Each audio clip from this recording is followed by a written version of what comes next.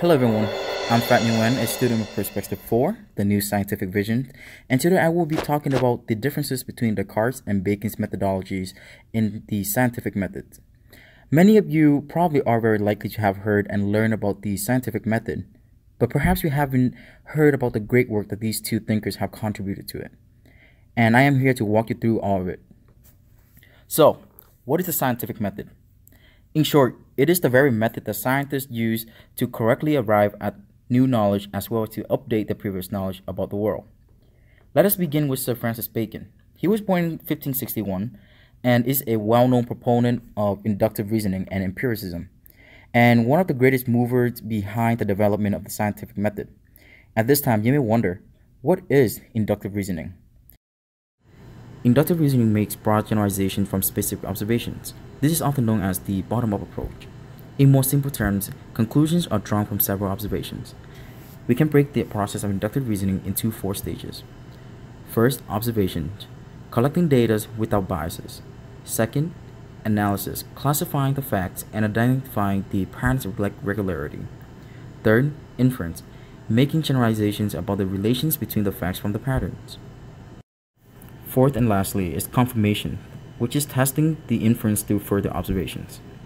An example of inductive reasoning would be something like, I have seen four white swans four different times, therefore all swans are white.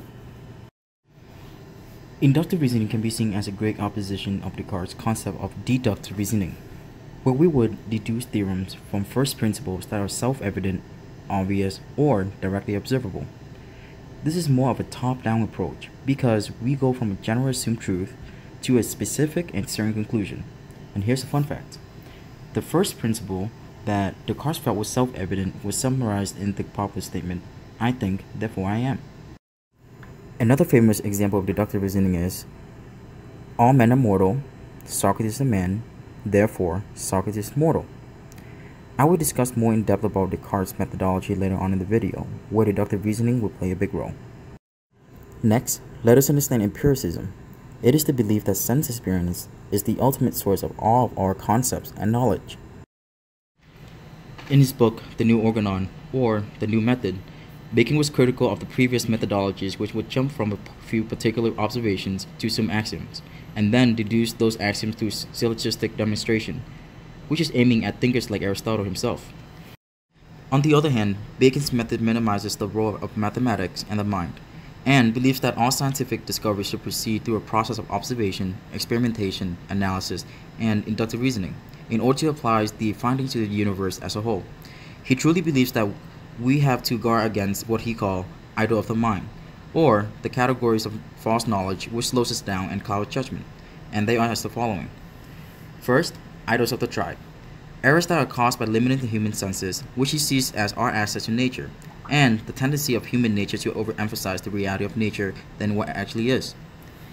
Second, idols of the cave. Errors caused by misconceptions inherent in an individual's thoughts and previous biases and prejudices. Third, idols of the marketplace. Errors due to the problem of language and the confusion of words and terms. Fourth and lastly, idols of the theater. Errors arise from received systems of thoughts that were passed down by past thinkers, such as the Aristotelian methods of syllogistic argumentation.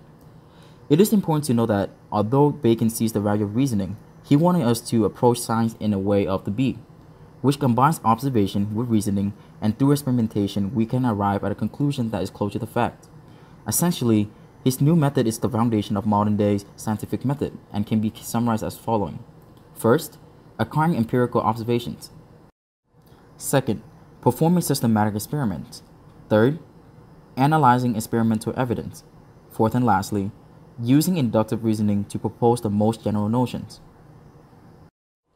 Up next, we have Rene Descartes. He was born in 1596 and is a proponent of rationalism which is the belief that there are ways that we can gain knowledge independent of sense experience and that knowledge can come from innate ideas, reason, and deduction. While Bacon believed in inductive reasoning and empirical model of scientific discovery, Descartes believed mainly in deductive reasoning, recall the definition I gave earlier, and rational model of scientific discovery. He also believed that the universe was like a huge machine, and if you were able to understand the basic laws of the universe, you could deduce how anything will act. Descartes' Discourse on Method was his major work on the scientific method, where he proposed that all science become demonstrative as a series of valid deductions from self-evident truths, similar to the idea of first principles as presented in the ancient Greek thinkers, rather than something rooted in observations and experiment that Bacon would propose. He recognized that our senses can allow us to know all things in the material world. However, these things themselves have an essence or form which explains the structure of things. These forms, according to Descartes, cannot be known by our senses, but only by reason. Descartes did not agree with the previous methods in medieval science that were based on authorities from the past rather than the observation in the present, except for the field of mathematics, which he believed was created on a solid foundation. He was very much concerned with the deceptions of the senses, and he went on to rebuild a new system of truth in his discourse on method, which is all based upon the unquestionable and indemonstrable first principles. His method is developed based on the following rules. First, systematic doubt or Cartesian skepticism, which is to never accept anything to be true unless it is presented as certainly true or at least supported by sufficient evidence. Second, analysis, to divide each problem which one encounters into as many smaller parts as possible. Third, synthesis, to think in an orderly fashion, which begins with the thing that were easiest to grasp and gradually reaching toward a more complex knowledge, or solutions. Fourth, comprehensiveness. Leave no stone unturned, or persistently test the general solution, reconstruct arguments and proofs of the model on the model of logic and mathematical reasoning, and assuring that nothing was left out. While there are differences between the methods of Descartes and Bacon, both of these thinkers questioned all of the methods that came before them. Both of them in their own ways demanded and proposed a new standard for precision. Additionally, they both share the similar belief of reducing a problem to the smallest parts as general principle. Up until now, I hope all my explanations about deduction, induction, as well as the overall scientific method has been making sense. And I truly hope that, you know, we can keep in mind that uh, even though these guys are long gone, their work nonetheless has still has great effects in the modern day science world. And the scientific method could not have been here and we could not be using what we have without these great thinkers. Thank you once again and I hope to reach you next time.